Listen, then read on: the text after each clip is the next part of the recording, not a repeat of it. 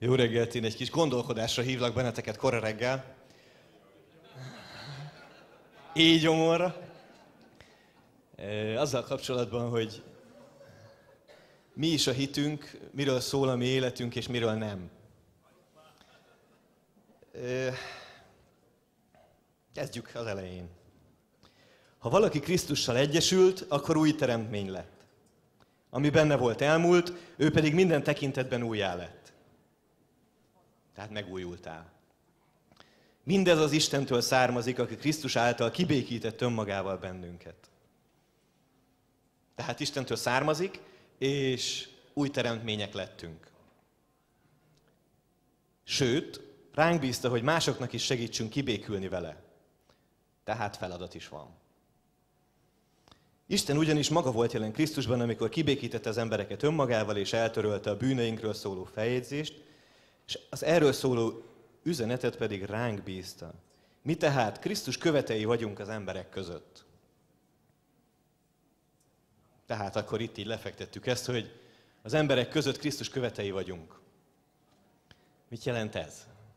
Kicsit arrébb azt írja a második korintusi levélben Pál, hálát adok Istennek, aki mindig a diadalmenetben, Krisztus uralma az alatt vezet bennünket, és rajtunk keresztül mindenhol érzékelhetővé teszi az emberek számára, hogy milyen öröm és boldogság őt megismerni. Szintén nagyon jó.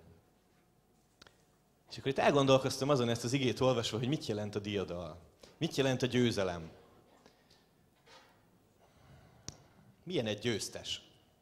Nem tudom, biztos van erről képünk, hogy hogy, hogy néz ki egy győztes, egy diadalmeretben lévő ember. Hát mit a Dezső, igen.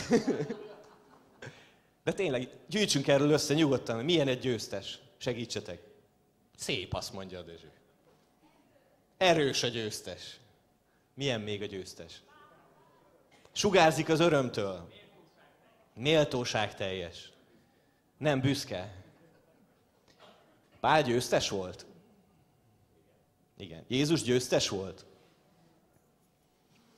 Azért, ha itt Pált és Jézust megnézzük, hogy ők győztesek voltak, akkor rájövünk, hogy lehet, hogy egy kicsit, kicsit ez a győztes kép ez árnyaltabb, mint amit, amit mi így gondolunk, mert mikor ott Pált megkövezték, amikor a sátán angyala gyötörte, amikor megverték és börtönben volt, akkor úgy nem tűnt úgy, hogy ő győztes. A meccs közben volt, mondja Feri. Tehát akkor ez azt jelenti, hogy van valami meccs. Átlapozunk a Filippi levélhez, ott azt írja Pál a Filippi 1.27-ben, mindegy, legyen 28. Azt szeretném, ha egy pillanatra sem ijednétek meg az ellenfeleitektől. Ha bátrak vagytok, ez az ő számukra a jele, annak a jele, hogy a vesztükbe rohannak. Számukra viszont az Isten által biztosított győzelem jele. Tehát az összes ellenfeleden győztes vagy, és ehhez bátornak kell lenned. Majd utána úgy folytatja, Isten megadta nektek, hogy Krisztusban higgyetek, de ez még nem minden. Azzal is megajándékozott benneteket, hogy szenvedjetek Krisztusért. Na itt egészen elcsúsztunk az elején lévő győztes képünktől. Legalábbis arról, amit én gondoltam, mikor megtértem, hogy Kicsit volt egy olyan kép a fejemben, hogy mindenki egy rózsaszín felhőre felül és azon közlekedik folyamatosan. Nem jönnek úgy nehézségek, nem jönnek fájdalmak, nincsenek betegségek, mindenki gazdag, mindenki három diplomás és boldog, és olyan házasságban élnek, ahol egy hangos szó nincs. Én ezt valahogy így képzeltem az elején, de valahogy mégse ez az igazság. Itt azt írja Pál, hogy szenvedjetek a Krisztusért. És visszalapozunk a, mit jelent ez a mi életünkben? És hogy jön ez össze a diadallal? Hogy jön ez össze azzal a győzelemmel, amit, amiről itt szó van, hogy, hogy Istennek a jó, Krisztusnak a jó illata vagyunk. Azt írja Pál 2 Korintus 7, 4 7. Az, hogy Jézus megismertük, igen nagy kincs. Ezt a kincset azonban cserépkorsóban, vagyis emberi testünkben hordozzuk. Így azután jól látható, hogy ez a mindennél nagyobb elő Istentől származik, nem pedig tőlünk. Aztán jön egy olyan érzés, amit azért úgy van, hogy átélünk. Mindenfelől bajok vesznek körül, és nehézségek szorongatnak bennünket. Volt már, hogy valaki így érezte magát? Én szoktam. De jó, hogy folytatja. Mégsem szenvedünk vereséget. Sokszor nem tudjuk, mit évők legyünk, de nem esünk kétségbe. Üldöznek, de Isten nem hagy el bennünket. Néha földre terítenek, de nem tudnak egészen elpusztítani. Mindig testünkben hordozzuk Jézus halálát, hogy az ő feltámadott élete is megnyilvánuljon bennünk. Életünk folyamán állandóan halálos veszélyeknek vagyunk kitéve Jézusért, hogy Jézus élete viszont látható legyen a mi halandó testünkben. Na, akkor kezdünk visszajutni a, ahhoz a győzelemhez. A kiindulási ponthoz, hogy itt diadalt fogsz aratni. Csak fontos azért definiálni, hogy mi az, hogy diadal. Mi az, hogy vereség. És nem kell messzire mennünk, Pál meg is teszi ezt nekünk nagyon kedvesen. Ugye abban megegyezünk, hogy Pál győztes volt, és azt mondja 2 Timóteus 4.6-ban, ami engem illet. Életem a befejezéséhez közeledik, és hamarosan elköltözöm innen. Életem Isten oltárára kerül, mint ahogy az italáldozatot kiöntik. És itt jön a lényeg. Végig küzdöttem a szép harcot, pályafutásomat befejeztem, a hitet mindvégig megőriztem. Eljutottunk a győzelemnek a definíciójához. A hitet mindvégig megőriztem. Erről szól. Nem arról szól a hitünk, hogy nem fognak minket nehézségek érni. És hogyha addig jutsz, hogy, hogy az Isten nem fog beleengedni téged semmi olyanba, és, és nem lesznek nehézségeid, nem fognak problémák jönni, nem lesznek betegségek, nem lesz olyan, hogy átmenetileg nincs pénzed, akkor rossz úton vagy. Ha addig jutsz, hogy addig, amíg jól állsz anyagilag, addig, addig, addig szeret az Isten, és addig jó a hited, akkor rossz úton vagy. És még egy nagyon fontos dolog, hogy ennek semmi köze nincsen a, az öt Mózesben leírt átkokhoz. Hogy neked milyen, milyen nehézségek jönnek az életedben, milyen problémáid vannak, hogy, hogy milyen betegség támad meg, vagy, vagy esetleg tényleg nincs pénzed, nincs társad. Ezek nem azért vannak, mert Isten megátkoz téged. Egyáltalán semmi köze nincsen hozzá. És hogyha visszalapozunk még egy kicsit, kicsit sokig, tudom, így hajnalban, így gyomorra, de azt mondja szintén Pál, hogy ez az oka, hogy nem adjuk fel, és nem fáradunk bele a szolgálatba. Igaz, a külső emberünk, vagyis a testünk egyre idősebb és gyengébb, de a belső emberünk mégis napról napra megújul. Mert a mostani, könnyen elviselhető szenvedéseink csak rövid ideig tartanak, mégis örök dicsőséget szereznek számunkra. Ez a dicsőség pedig olyan csodálatos, hogy összesen lehet hasonlítani a szenvedéseinkkel. Ezért a nem látható dolgokat tartjuk szem előtt, ezért nem a látható dolgokat tartjuk szem előtt, hanem a láthatatlanokra figyelünk, ugyanis ami látható, az hamar elmúlik. Ami pedig láthatatlan, örökké megmarad.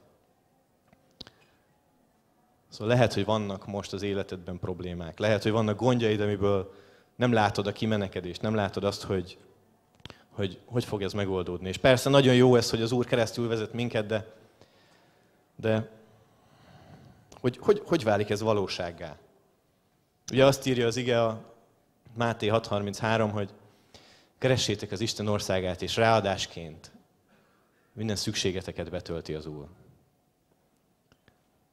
Akkor, hogyha problémák vannak az életemben, nagyon könnyen jutunk ezekre a, a gondolatokra, hogyha problémák vannak az életemben, akkor nem hiszek eléggé. Nem kerestem eléggé az Istennek az országát. Többet kellett volna imádkoznom. Mert, mert azért kaptam, mert biztos, biztos tegnap egy negyed órával többet kellett volna, hogy imádkozzak, és akkor jobb lenne. Akkor, akkor nem lenne semmi problémám. Akkor megtaláltam volna már a társamat, akkor lenne már munkám. Ha, ha tényleg elmentem volna arra a keddi bibliaiskolára.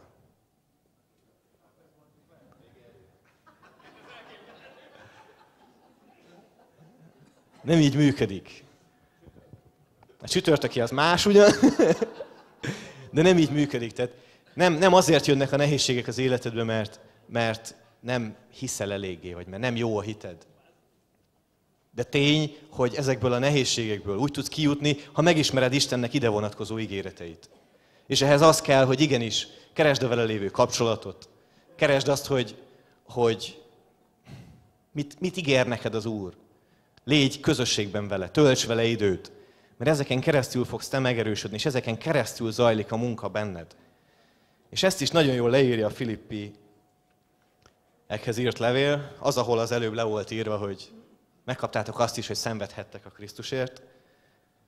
Itt azt írja kicsit lentebb Pál, hogy Isten iránti teljes tisztelettel, sőt Isten félelemmel tegyétek teljessé, és vigyétek véghez mindazt, ami az üdvösségetekből következik. Ebben a gondolatban azért van egy érdekesség, hogy ami az üdvösségetekből következik, abból következnek a tetteitek. És ugye ott az elején, amikor felolvastam, hogy kik is vagyunk mi, akkor ott arról volt szó, hogy akik Krisztusban újjászületnek, ezt a munkát az Isten végzi. És ott, amikor te Jézus mellett döntöttél, vagy ha még nem döntöttél, akkor ma dönthetsz mellette, akkor ott neked üdvösséged lett. És ebből következnek dolgok. Tehát ez a kiinduló állapot. Ez szerint, az ige szerint.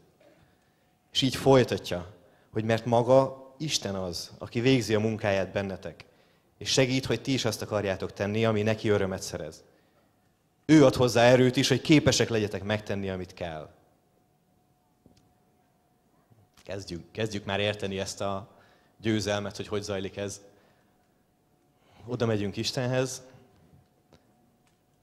és ő elkezdi végezni bennünk a munkát. Azzal, hogy közösségbe kerülsz vele, azzal, hogy időt töltesz vele, azzal, hogy... És amikor elmész bibliaiskolára, az pont ez. És itt van a reklám helye, hogy kedden és csütörtökön bibliaiskola van 6 órától a Murányi utcában. Kedden most egy közösségi alkalom lesz, ahol azt fogjuk meghallgatni, hogy Isten hogyan dolgozik a mi életünkben, és mit is jelent Jézussal élni. A csütörtöki alkalmakon pedig a Róma levélbe megyünk bele egyre mélyebben, mind a kettőt eléritek az interneten is, úgyhogy bármikor bele lehet kapcsolódni, meg tudjátok nézni ezt. Isten végzi ezt a munkát, és ugye azt mondta az elején, hogy, hogy az emberekhez eljutatjuk az evangéliumot, elvisszük az embereknek. És azt mondja, így folytatja a Filippi levelet, hogy mindezt azonban elégedetlenség és panaszkodás nélkül tegyétek akkor Isten ártatlan és tiszta gyermekei lesztek, akikben senki sem találhat hibát. E gonosz és romlott nemzedékben úgy ragyogtok, mint a csillagok a sötét éjszakában, miközben Isten életet adó üzenetét hirdetitek nekik. Isten üzenetét hirdetni nem annyit jelent feltétlenül, hogy kiállsz a, a Blaha Luisa térre egy gitárral, és, és énekelsz, vagy elmondod az evangéliumot. Isten üzenetét hirdetni azt jelenti, amikor, amiről ott pár írt az előbb, hogy a nehézségeidben, amikor te benne vagy, benne vagy a daráló közepében, akkor te megtartod a hitedet. És azt mondod, hogy azzal aratsz győzelmet, és az a te győzelmet, hogy, hogy megtartod a hitedet, és egy pillanatig nem kételkedsz, vagy figyelmezteted magad, hogy ne kételkedjek abban, hogy ez az Isten szeret engem. És nagyon-nagyon nehéz dolog ezt megvallani, de, de az is meg van írva, hogy az Isten szeretőknek minden a javukra van. És amikor te vállalod azt, hogy lehet, hogy jön nekem egy betegség, lehet, hogy mindenkit kirúghatnak jövő héten a munkahelyemről, és, és lehet, hogy én leszek az egyik. És minden kollégád meg van recsenve, és ott ülnek, és teljesen így összeszorulva fél mindenki attól, hogy miből fog élni, te pedig ülsz, és megkérdezik tőled, hogy te miért nem vagy ideges. És ez az a pillanat, ahol neked eljön a lehetőséget, hogy te képviseld az evangéliumot. És az, ahogyan te megéled a problémáidat, és az életet tesz rólad bizonyságot. Ez az, ami, ami kell ehhez. Ez az, ami betölti ezt az igét, hogy, hogy, hogy hirdessük a, az embereknek, és, és vigyük el az evangéliumot az életünkkel elsősorban. Gyereknevelésben is biztos, akik szülők vagytok, sokan megtapasztaltátok, hogy ha mondtok valamit, de csináltok valami mást, akkor az nem biztos, hogy fog működni. Nekem még nincs gyerekem, de ezt már azért úgy lefektették, hogy erre jó lesz odafigyelni, hogy azt tegyük, amit mondunk. És sokszor az is neveli a gyereket, hogyha nem is mondunk semmit, csak látja, hogy mit csinálunk, mert utánoz. És amikor te kint, kint, kint vagy az életedben, a munkahelyeden, a mindennapjaidban, a, a hentesnél, a boltban, a pénztárossal, a, akárhol, otthon a házasságodban, amikor ketten vagytok, akkor ott tudod igazán képviselni az evangéliumot, amikor te az életedben Isten igazságai szerint élsz, és megvallod azokat, és benne maradsz, és hagyod, hogy a Szent Szellem dolgozzon benned. És ebben egy nagyon-nagyon csodálatos útmutatunk a Biblia. Amire nagyon fontos, hogy ne úgy tekintsünk, hogy az új szövetség, ami le van írva, az evangélium, a levelek, az nem egy törvény nekünk. Ez érted van. Ez egy, ez egy használati utasítás. Amiben ha az lenne leírva, hogy ne tedd a kezedet a sínre, mert ha jön a vonat levágja, akkor azt értenéd, és nem tennéd a kezed a sínre. De az egész így működik. Le van írva, hogy ha oda teszed a kezed, levágja a vonat. És te mondhatod azt, hogy nekem nem mondja senki, hogy ne tegyem a kezem a sínre. De, de valahol erről szó lesz, hogy, hogy ez érted iratott. És az Isten nem azt mondja, hogy fú, ha te most ott, ott, ott egy sort nem tartottál be, vagy nem úgy viselkedtél, akkor már nem is szeretlek és elvetlek magamtól. Erről szól az Istennek a kegyelme.